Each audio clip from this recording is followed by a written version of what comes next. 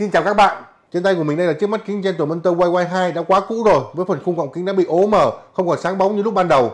Dễ nhận thấy nhất đó chính là hai bên mặt trong của càng kính này các bạn, hoen ố và cũ khủng khiếp luôn. Và chưa kể nữa hai bên càng kính đã bị rất là lỏng lẻo, không còn chắc chắn như lúc ban đầu nữa.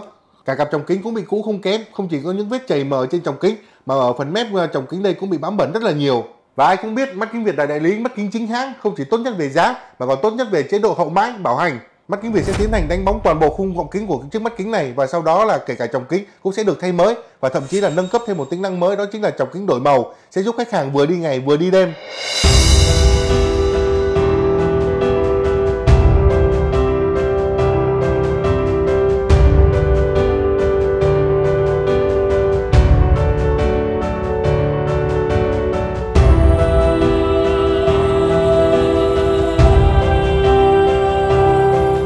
Trước mặt các bạn là gì? Đâu còn là một chiếc mắt kính Gentleman YY2 cũ kỹ nữa đúng không? Toàn bộ khung gọng kính đã khoác lên mình một chiếc áo mới với khung gọng kính sáng, không còn bị chảy xước nữa.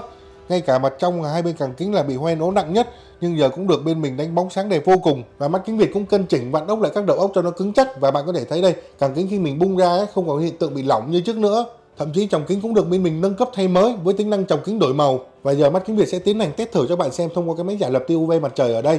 Và bây giờ mình sẽ đưa cái máy kính này vào trong đây, các bạn có thể thấy là cái tròng kính là khi vừa đưa vào là tròng kính đã đổi màu ngay lập tức. Từ tròng kính trắng trong mà bây giờ đã sậm màu. Và bây giờ mình sẽ tiến hành lấy ra cho các bạn coi. Đây, ồ tròng kính đã đổi màu đậm đen, không thua gì một cái kính mát, đúng không các bạn? Một chiếc mắt kính Gentleman YY2 cũ kỹ đã được bên mình làm mới. Và kể cả cặp tròng kính cũ bị chảy xước ố rất là nhiều cũng được bên mình thay mới, với tính năng vượt trội hơn hẳn so với tròng kính cũ. Đó là những điều mà mắt kính Việt đem đến cho khách hàng, tuyệt vời là ở chỗ đó. Mắt kính Việt đại lý ủy quyền bán lẻ mắt kính chính hàng đầu tại Việt Nam.